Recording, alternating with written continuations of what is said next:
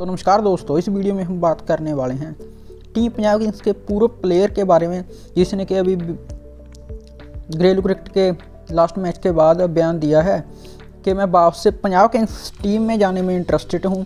तो दोस्तों, ज़बरदस्त जानकारी देंगे इस वीडियो में आपको इस प्लेयर के बारे में। जल्दी से वीडियो को लाइक और चैनल को सब्सक्राइब कर दीजिए। तो वीडियो स्टार्ट करते हैं।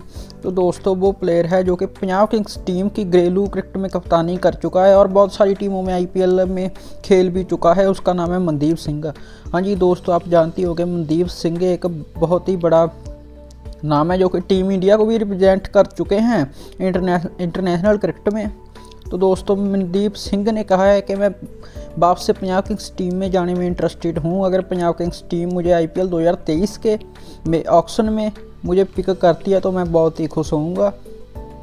और दोस्तों, उन्होंने बताया है कि मैं पंजाब किंग्स टीम से शुरू से जुड़ा हूँ। 2011-12 का आईपीएल भी मैं पंजाब किंग्स टीम से ही खेला हूँ और वापस आरसीबी और और भी बहुत सारी टीमों से खेले हैं मनदीप सिंह। और इसके बाद टीम इंडिया को रिप्रेजेंट किया और वापस पंजाब किंग्स टीम में 2019 में वापस आ चुके थे और 2021 के मेगा ऑक्शन से पहले पंजाब किंग्स टीम ने इन्हें रिलीज़ कर दिया था।